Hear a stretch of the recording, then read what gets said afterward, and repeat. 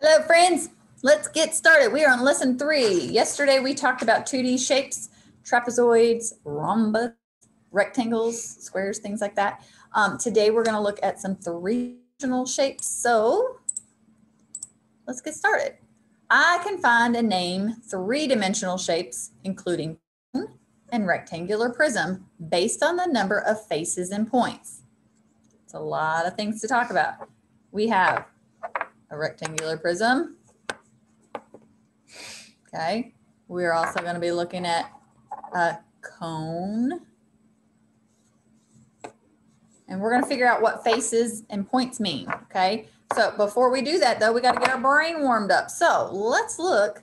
You do have this fluency in your Google Classroom today. So if you want to pause now and go work on it, you can. Uh, two minutes on your timer, you know what to do. Uh, we're also going to do a fluency here. So let's do this fluency together. And then if you want to pause and go work on it, that's fine. Remember, don't turn it in yet. Turn it in when you do your problem set and your exit ticket, okay? So let's see, count by tens and the regular way. So let's count by tens. 110, 210, 310, 410, 510, 610, 710, 8 tens, 9 tens, 10 tens. 10 tens is 100. then we can count by the regular way 10, 20, 30, 40, 50, 60, 70, 80, 90, 100. So remember, a dime is worth 10 cents. So when we count dimes, we count by tens. Okay. All right, let's look at this one. Oh, it's got pennies and dimes. Remember back to our lesson when we were talking about money and we had a mix of dimes and pennies? And I said, it doesn't matter where it is, the larger the coin value or the more the coin, the higher the coin value is the one you're going to count first. So I have a penny and I know penny is worth one cent. And then I have a dime and I know a dime 10 cents. So I'm going to count my dimes first. Ready? 10, 20, 30, 40, 50, 60, 70, 80, 90, 100, 101, 102. Okay. Let's count this one. Remember, counting our tens first because we're counting our dimes. Dimes are worth 10, pennies are worth 1. 10, 20, 21, 22, 23, 24, 25, 26, 27, 28, 29, 30. All right, friends, let's get started with our application problem. Bum, bum. I got my detective hat on today. All right, let's read it. Good detectives always read first, then we look for clues. Rose draws six triangles. Maria draws seven triangles. How many more triangles does Maria have than Rose? Guys, we can do this one of two ways. We can make a comparison tape diagram where it says double tape diagram, or we can draw it out. Your choice. I'm going to do both. All right, Rose and Maria. I'm going to do a double tape diagram first. I know that Rose draws six triangles.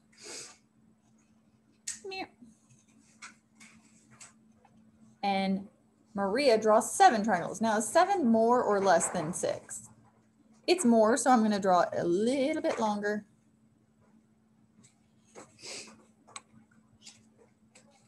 Now, I can find this by saying 7 minus 6 equals something, or I could say Nope. I want to do seven minus six, or I'm sorry. Yeah, we're going to subtract because we're going to find out how many more. This is six. How many more do I need to get seven? One. So if I have seven and it takes six away, I have one, right? So how many more triangles does Maria have than Rose? Maria has one more triangle. Okay. Oh, I spelled, look at that. Do you see how I spelled triangle? Mm, should be L-E. I spelled triangle. we want triangle. Okay. So let's look at it if we draw it out too, okay? I'm trying to move my picture out of my way here. There we go. Let's draw it out too. We know that Rose had six. So I'm just going to do simple simple math drawing. I'm not going to draw my triangles. One, two, three, four, five, six. And we know that Maria had seven. One, two, three, four, five, six, seven. So look.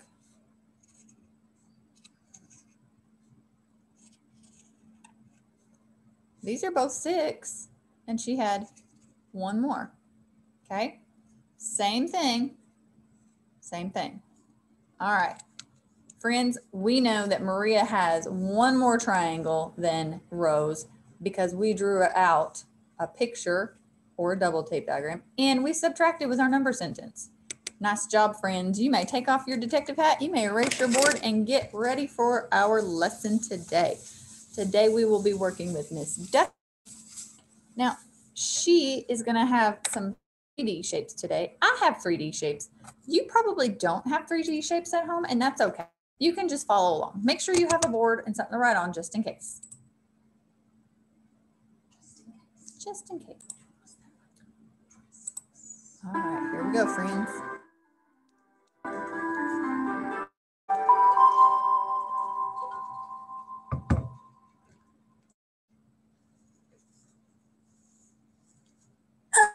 Mathematician, Hi, Miss Duckett. it's Miss Duckett, ready to guide you through a math lesson.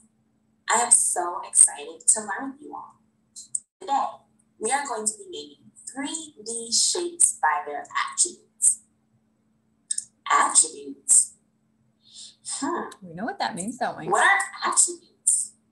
Do you remember what Mhm. attributes are, mathematicians? It's the Take a moment to characteristics think. Or how we describe them, like th- four straight sides or three straight sides, or Attributes are the defining characteristics of a shape. Whoa! Mathematicians, it's time for a memory jogger moment. This is our chance to jog our memories, to really make sure we understand what attributes are before we get started with today's lesson. I will show you a shape, and when you see this shape, I want you to think about what are the attributes or the defining characteristics of the shape?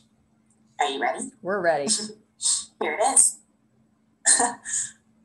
well, mathematicians, Hmm. what are the attributes of this shape? Let's pause Take this. a moment to think. We're going to pause it just for a second.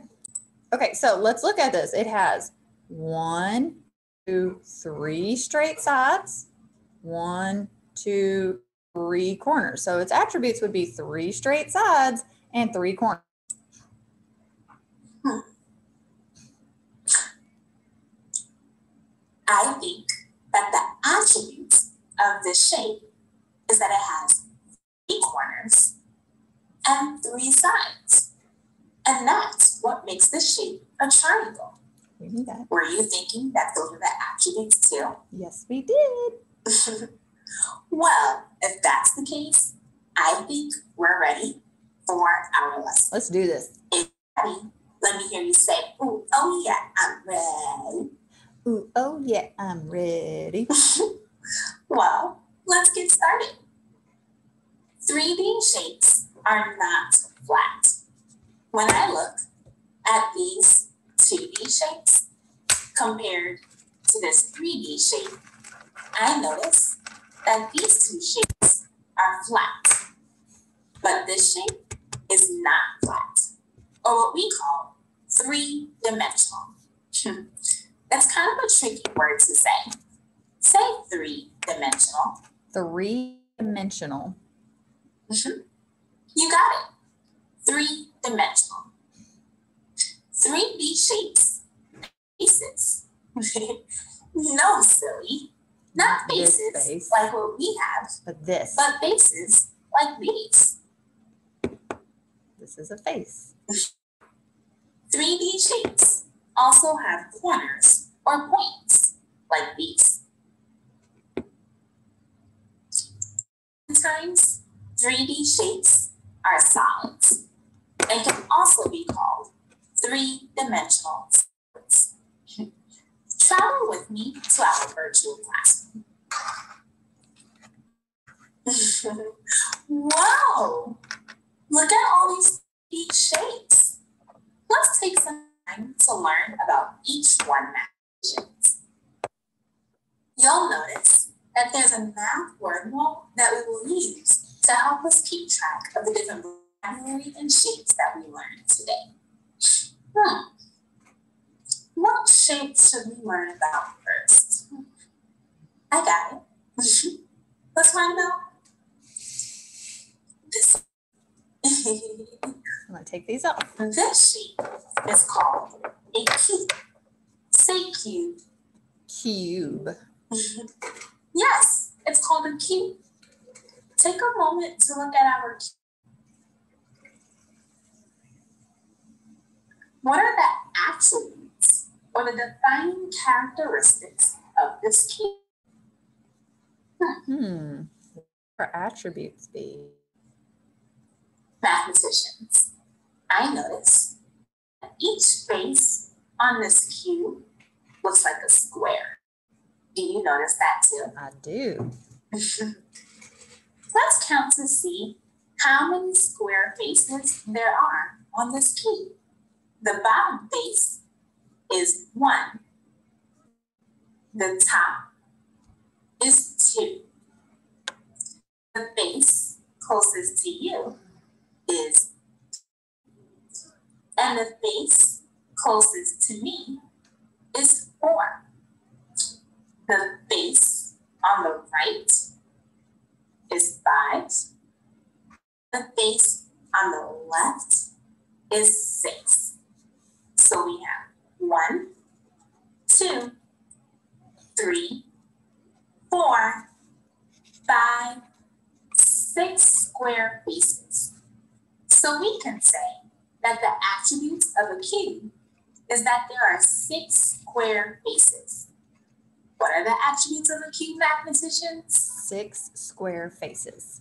The attributes of a cube are that there are six square faces. let's learn about another shape. Now let's learn about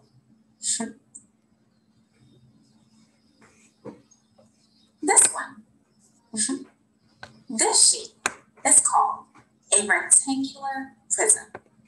What is this shape called? A rectangular prism. Yes, this shape is called a rectangular prism. Hmm.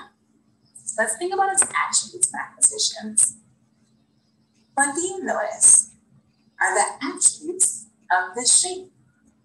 It has faces. I notice that all the faces are rectangles.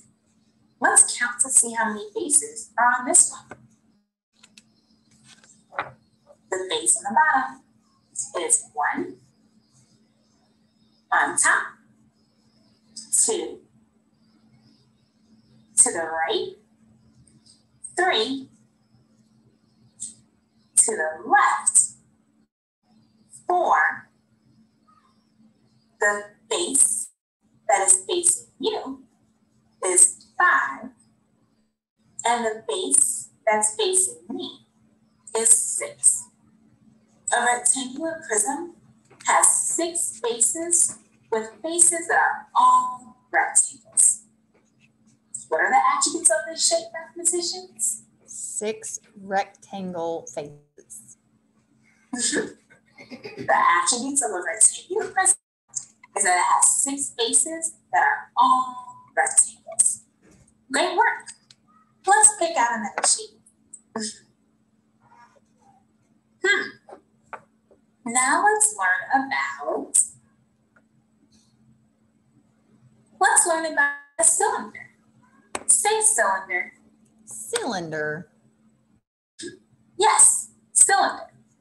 Hmm. Mathematicians, what are the attributes of this shape? It has two faces, doesn't it? But the faces are circles. I notice that the attributes of this shape is that all the faces are circles. Hmm. Mathematicians, how many faces do you see? Just two. I see two faces. One, two.